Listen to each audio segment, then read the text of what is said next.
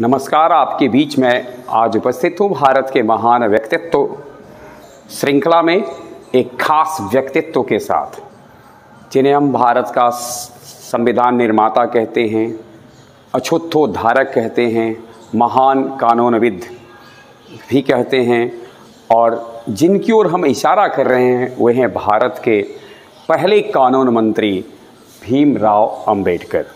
Doctor Bhimrao Ambedkar का जन्म मध्य प्रदेश राज्य के प्रमुख एक शहर है इंदौर उसके निकट एक महू नाम का जगह था। वही उन दिनों छावनी थी। वहीं हुआ था 14 अप्रैल को 14 अप्रैल अठारह सौ इक्यानवे को। उनका जन्म एक ऐसे परिवार में हुआ था जिसे उन दिनों, आज की बात मैं नहीं कर रहा, उस समय के समाज की नज़र उसे परिवार पर थोड़ा सा अच्छे ढंग से नहीं पड़ती थी, यानी एक उसे अछूत परिवार कहा जाता था। उसमें उनका जन्म हुआ था, महार जाति के थे। महार जाति को, के प्रति उस समय का जो दृष्टिकोण था, वह कुछ दूसरा था। जब इनका जन्म हुआ, इनका लालन पालन हुआ, उसके बाद जब इनकी उम्र पढ़ने लायक हुई तो विद्यालय में पढ़ने गए खास बात थी, जो विद्यालय के पहले दिन ही और या विद्यालय में पढ़ने के दौरान उन्होंने जो महसूस किया, इससे उनके जीवन पर बड़ा गहरा प्रभाव पड़ा। इनको विद्यालय में कक्षा से वर्ग से बाहर बैठा दिया गया। अब वो वर्ग से बाहर बैठने का, समाज से कट जाने का, समाज उसे कटा हुआ देखता है। यह एक बच, एक बालक के मस्तिष्क मस्तिष्क पर उसका एक गहरा प्रभाव पड़ता है। फिर आगे उस क्या होता है, इसे हम जानेंगे। लेकिन उस बालक के मन में एक संकल्प शक्ति उसी क्षण जाग जाती है कि हम हर संभव कोशिश करेंगे कि भारत से यह जो छुआछूत है, इसको दूर करें। और आजीवन उन्होंने उसे दूर करने की कोशिश की। थोड़ा सा हम उनका इनके परिवार के बारे में जानते हैं। पिता राम जी मोला जी सकपाल, पिताजी जो थे, वो एक सैनिक थे। वो सेना में थे। माता थी भीमाबाई और इनकी माता का देहांत जब इनकी उम्र महज पाँच साल थी तब हो गया। यानी पाँच वर्ष की अवस्था में बालक के ऊपर से माता की का जो साया है वह हट जाता है। इसके बाद इन्होंने आ, अपनी पढ़ाई आगे जारी की। पढ़ाई को इनके बड़ोदरा के गायकवाड़ फैमिली से कहा जा कहा जा सकता है कि उस समय के जो बड़ोदरा के नरेश थे, राजा थे, उन्होंने इनकी काफ़ी मदद की। प्राथमिक शिक्षा जब या फिर जो मध्य शिक्षा कह लें यह जब उन्होंने प्राप्त किया भारत में रहकर तो उन्होंने प्रेरित किया इनको, और इनको, उनके ही प्रेरणा से, उनके ही प्रयासों से 11 नवंबर 1917 को यह भीमराव अंबेडकर जी कैलिफ़ोर्निया, अमेरिका में, कोलंबिया विश्वविद्यालय में उच्च शिक्षा प्राप्त करने के लिए गए। वहीं से उसके बाद वो लंदन गए, जहाँ से उन्होंने बैरिस्ट्री की शिक्षा प्राप्त की थी। तो इस प्रकार से बड़ोदरा नरेश का बहुत बड़ा योगदान इनके उच्च शिक्षा को प्राप्त करने में रहा।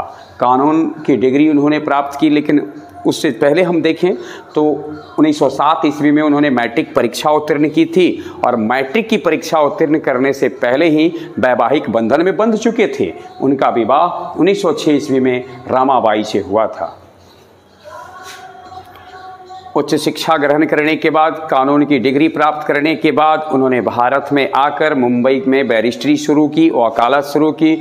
1923 ईस्वी से उन्होंने नियमित वकालत की शुरुआत की थी। संपादिक उन्होंने कुछ पत्र पत्रिकाओं का संपादन भी आरंभ किया। उनके द्वारा संपादित पत्रिका में मुख्य नायक और बहिष्कृत भारत था। बहिष्कृत भारत का संपादन उन्होंने 3 अप्रैल 1927 से शुरू किया था। 1927 ईस्वी में उनको एक कॉलेज का लेक्चरर भी बनाया गया, यानी वो एक लेक्चरर भी बने। दो बातें यहाँ हम कहना चाहेंगे। एक तो जब उन्होंने उच्च शिक्षा प्राप्त करने के लिए कॉलेज में एडमिशन कराया था तो उन, उस समय वह महार जाति से ही नहीं, वरन जिसे हम अछूत कहते थे, अछूत जाति से उच्च शिक्षा प्राप्त करने वाले पहले व्यक्ति बन गए थे। और एक बात मैं और बताना चाहता हूँ, उस विद्यालय मतलब इनके विद्यालय और महाविद्यालय के दौरान जो इनके साथ हो रहा था, ये भी थोड़ा अजीब सा था। जब ये पानी पीने के लिए जाते थे तो अपर वर्ग, यानी सवर्ण वर्ग के जब बच्चे उनको पानी पिलाते थे तो ऊपर से पानी को डालते थे और ये अपने हाथ में कर में पानी को ग्रहण करते थे। इस प्रकार से उनके अंदर ये तमाम जो व्यवस्था थी, इसके प्रति बहुत गहरा दर्द था। वो सोचते थे कि ऐसा क्यों होता है कि जाति के आधार पर ऐसा भेदभाव क्यों किया जाता है? उन्होंने जीवन पर्यंत वकालत की कि समाज में विभेदन उसकी इच्छा शक्ति श्रम का जो विभाजन हो वह जाति के आधार पर नहीं होना चाहिए। उसकी इच्छा शक्ति उसकी कार्य कुशलता और उसकी जो योग्यता है इससे होनी चाहिए। उन्होंने बहुत सारे पुस्तकों का भी प्रकाशन किया। उनके द्वारा प्रकाशित उनके द्वारा जो पुस्तक लिखी गई उनमें प्रमुख हैं the caste in India their mechanism genesis and development the untouchables who are they who are Sudraj, Buddhism and communism Buddha and his Dhamma thoughts on linguistic states the rise and fall of the Hindu women annihilation of caste इसके बाद जब हम बात करें भारत की राजनीति में वो सक्रिय होते हैं। 1928 सौ ईस्वी में जब साइमन कमीशन भारत आता है तो मुंबई में इन्हें साइमन कमीशन का अध्यक्ष सॉरी, साइमन कमीशन का सदस्य बनाया जाता है। ध्यान में रखना है, साइमन कमीशन के सदस्य बनने वाले व्यक्ति होते हैं। भारत की राजनीति में सक्रिय हुए। जब मैकडोनाल्ड ने एक सांप्रदायिक पंचाट लाया, और इससे उसने हिंदू धर्म को एक और बार वर्गीकृत करने की कोशिश की, गांधी जी पूना की अरबदा जेल से उन्होंने जब इसका विरोध किया और अनशन पर बैठ गए। तो कस्तूरबा जाती हैं। कस्तूरबा गांधी जाती हैं भीमराव अंबेडकर के पास और उनसे कहती है कि मैं अपने पति के जीवन की भीख मांगती हूँ। फिर कस्तूरबा के कहने पर भीमराव अंबेडकर गांधी जी से बात करने के लिए तैयार होते हैं और 1932 1932 ईस्वी में एक बहुत बड़ा डील होता है गांधी जी और अंबेडकर के बीच में, जिसे हम लोग पूना समझौता के नाम से जानते हैं। तो गांधी जी और अंबेडकर ने के बीच हुए समझौते को हम लोग पूना समझौता कहते हैं पूना पैक्ट के नाम से जानते हैं। इससे थोड़ा सा और पीछे लौटे हम।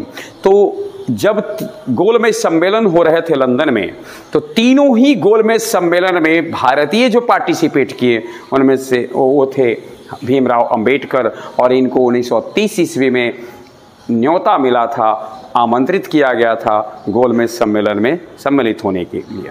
इसके अलावे उन्होंने भारत के निर्माण में, भारत के संविधान बनने में, भारत के राज स्वतंत्रता आंदोलन में जो योगदान उन्होंने दिया है, इसको अब हम जानते हैं। यूँ तो भारतीय इतिहास, भीमराव अंबेडकर के कई योगदानों के लिए उनको जाने, जानेगा। लेकिन जो खास योगदान उनका रहा है, उनमें से है। विधानसभा में उन्होंने महार वेतन बिल 14 मार्च उन्नीस सौ उनतीस ईस्वी को पारित किया।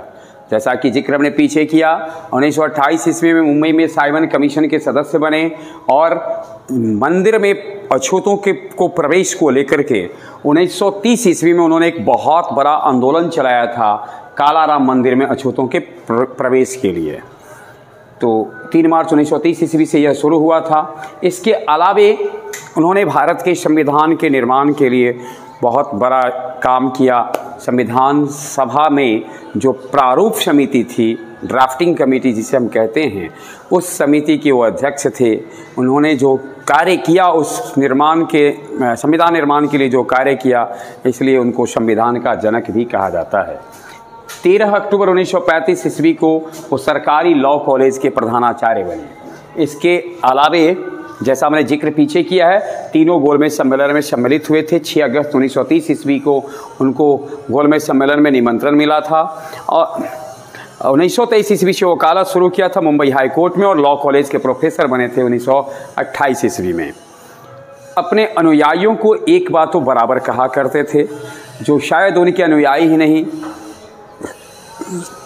समस्त लोगों पर लागू होता है कि अगर आप अशिक्षित हैं, अगर आप असंगठित हैं, और अगर आप में परिश्रम करने की, संघर्ष करने की शक्ति नहीं है तो आप कभी भी सफल नहीं हो सकते। इसलिए अपने अनुयायियों को कहते थे, शिक्षित बनो, संघर्ष करो, संगठित रहो। शिक्षित बनो, संघर्ष करो, संगठित रहो।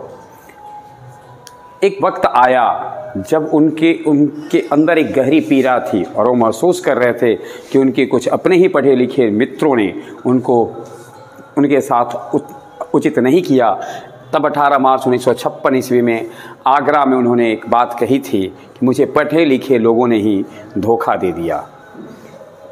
भारत के संविधान के बनाने में महत्वपूर्ण योगदान देने वाले भीमराव अंबेडकर का निधन 6 दिसंबर उन्नीस सौ छप्पन ईस्वी को दिल्ली में हो गया।